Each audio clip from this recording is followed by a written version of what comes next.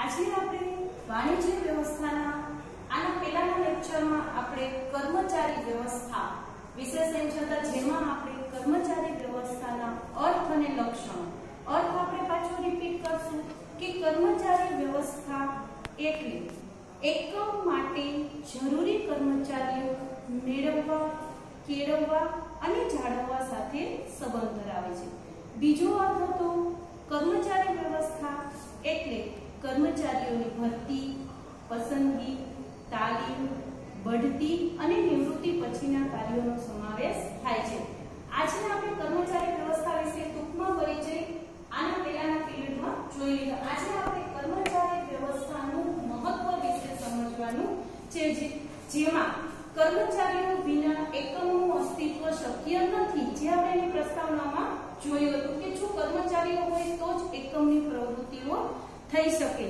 એટલે કે સંચાલન ક્ષેત્રમાં કર્મચારી સંચાલનને વધુ મહત્વ આપવામાં આવે છે. જેમ જેમ ઉદ્યોગોનો વિકાસ થતો ગયો, તેમ તેમ કર્મચારીઓનું મહત્વ વધતું ગયું એટલે કર્મચારી વ્યવસ્થાના સંચાલન મહત્વમાં કહેવામાં આવે છે કે કર્મચારી વિનાનું વ્યવસ્થા તંત્ર આત્મા વિનાના હાડપિંજર જેવું છે જેમ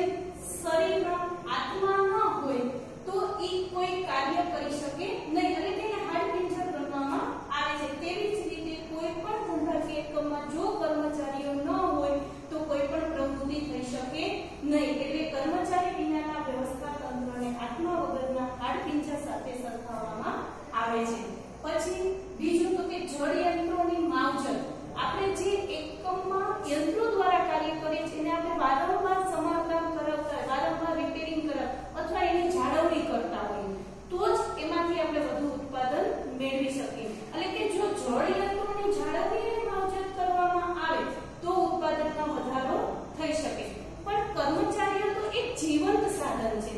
જો એની માવજત અને જાળવણી કરવામાં આવે તો એકમમાં નફામાં વૃદ્ધિ થઈ શકે બીજું તો કે એકમની પ્રતિષ્ઠામાં પણ વધારો થઈ શકે એટલે કે જળ યંત્રોની માવજતથી ઉત્પાદનમાં વધારો થઈ શકે છે તો કર્મચારીઓ તો જીવંત સાધન છે જો એની જાળવણી કરવામાં આવે તો એ ઉત્પાદનમાં વધારો કરી શકે અને નફામાં પણ વૃદ્ધિ થઈ શકે ધંધાકીય એકમની પ્રતિષ્ઠામાં પણ વધારો થાય છે પછી આવે છે આપણે જીવન સાધન કીધું કે કર્મચારીઓ એક એકમમાં એક જીવંત સાધન કરવામાં આવે છે એટલે એની જાળવણી કરવી જોઈએ પછી કહેવામાં આવે છે કહેવત છે કે તમે તમારા કર્મચારીઓનો ખ્યાલ રાખો બાકીની બધી જ બાબતોનો તેઓ ખ્યાલ રાખશે. એટલે કે એકમમાં જે કર્મચારીઓ કામ કરે છે, એનો તમારે ખ્યાલ ખાલી રાખવાનો છે. પછી એકમની દરેક પ્રવૃત્તિઓનો ખ્યાલ કર્મચારીઓ જ કરતા હોય છે. હવે આપણે જોઈએ કર્મચારી વ્યવસ્થાના મહત્વના મુદ્દાનું સૂત્ર છે સચ્ચા પ્રસંગ કહાસ સ એટલે સતત ચાલતી પ્રવૃત્તિ ચા એટલે ચાલક બળ પ્ર એટલે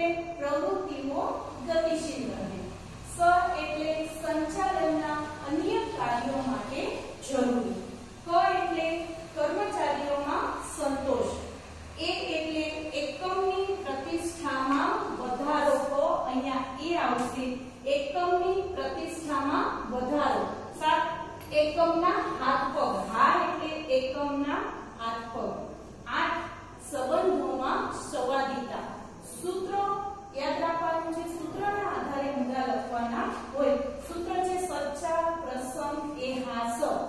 એમાં પહેલો મુદ્દો આપણે જોઈએ સતત ચાલતી પ્રવૃત્તિ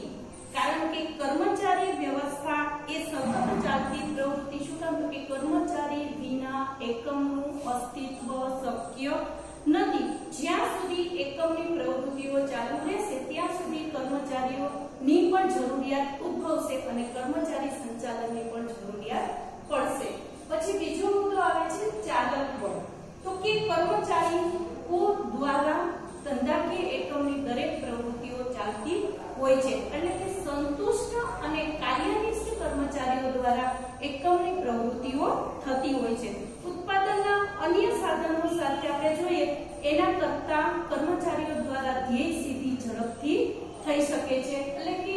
કર્મચારીઓ જ એકમને ચલાવવા માટે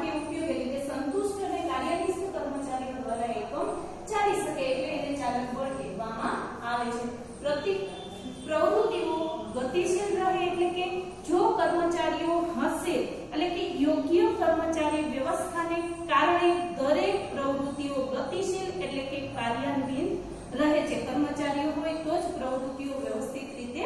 ચાલી શકે છે. પછીનો મુદ્દો છે સંચાલનના અન્ય કાર્યો માટે જરૂરી, એટલે કે સંચાલનના અન્ય કાર્યો જેવા કે આયોજન વ્યવસ્થા તંત્ર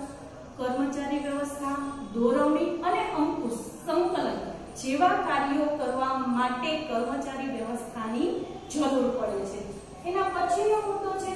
કર્મચારીઓમાં સંતોષ જો કર્મચારીઓની કોઈ પણ ફરિયાદો હોય મુશ્કેલી હોય એનો કરવામાં આવે તો કર્મચારીઓ સંતોષની લાગણી અનુભવે છે. એટલા માટે કર્મચારી, બીજું તો કે કર્મચારીઓને જે કંઈ કાર્ય સોંપવામાં આવે એનું યોગ્ય વહેંચણી થયેલી હોય તો પણ કર્મચારીઓ સંતોષથી કાર્ય કરે છે. એના પછીનું તો કે એકમની પ્રતિષ્ઠામાં વધારો. સંતોષ અને કાર્યનિષ્ઠ કર્મચારીઓ એકમની અમૂલ્ય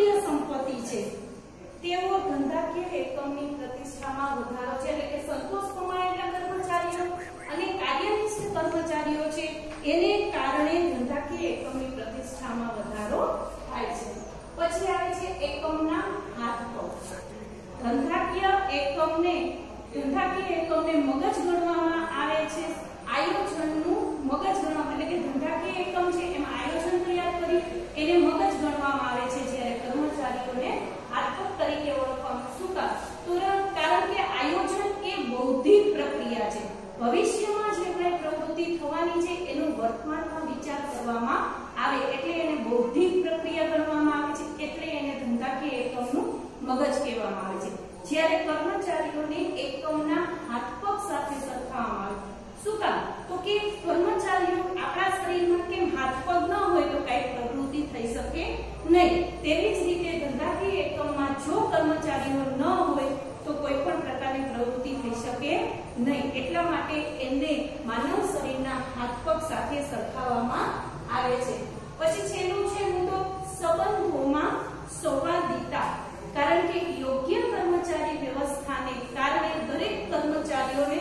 એની લાયકાતને અનુરૂપ કાર્યની સોંપણી થાય છે. એને કારણે માલિક અને કર્મચારી વચ્ચેના સંબંધોમાં સુમેળ ભર્યા રહે છે, લાગણીશીલ રહે છે, સંવાદિતા ભર્યા